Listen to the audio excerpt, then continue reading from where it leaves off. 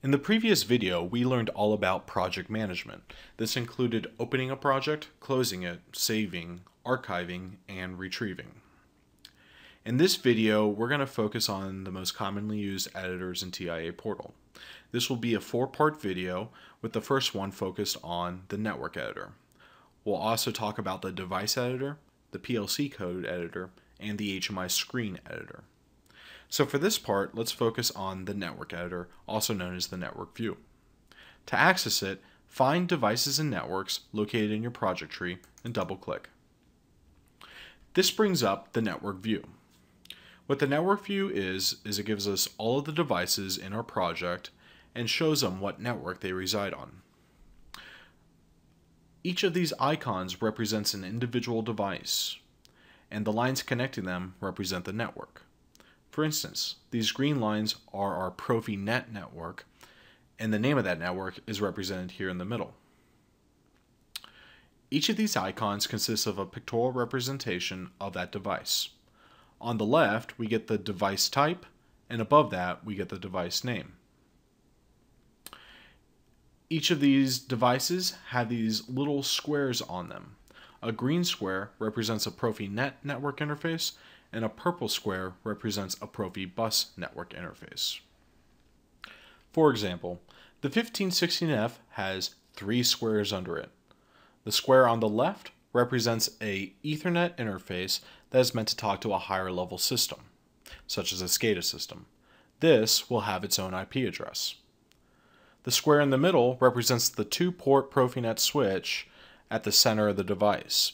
This is meant to communicate at the machine level to all of its sub-devices. This also has its own unique IP address from the first interface. Finally, on the right, we have our Profibus port. If you want to view the addresses for all the network interfaces on all the devices, you can do so by clicking on this icon with the eyeball on it.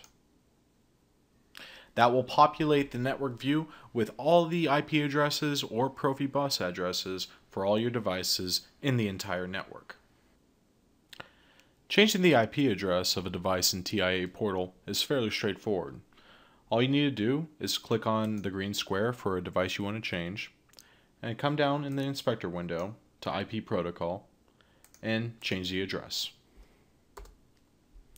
Now it's important that that IP address is unique and also matches the subnet of all your other devices. Typically, the subnet will consist of the first three octets of an IP address, and notice that those first three will be the same for all devices, and the last octet will be unique. Along with setting up IP addresses for our devices, we can also establish master and slave relationships between our devices. For instance, you may have noticed that some of these devices have these blue hyperlinks in the bottom left hand corner and some don't.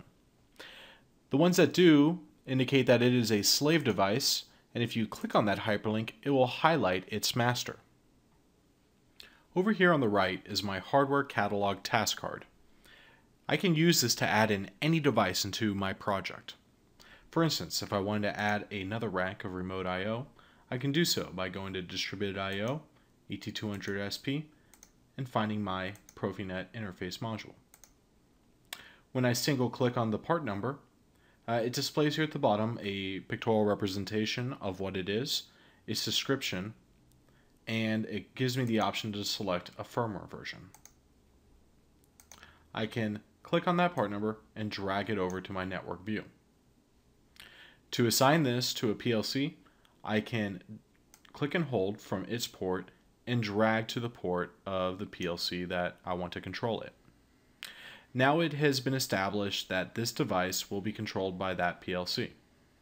By doing that, it also ensures that the IP address will be on the same subnet and it will be unique. If your network view is getting a little too cluttered, like mine is starting to be, you can click here in the bottom right hand corner of the network view and quickly access a different part of your network. To view my HMI connections, I can do that by clicking on the Connections button here at the top and selecting HMI connection in the drop down. All the devices that are engaged in some sort of HMI communication are highlighted in blue. I can right click on an HMI and say View All Connection Partners, and it'll provide additional highlighting over the devices that are directly talking to that HMI. So that about wraps it up for the network view. In a later video, we're going to show what this looks like when you go online with these processors so we can get back the status of our network. In the next part, we're going to go over the device view.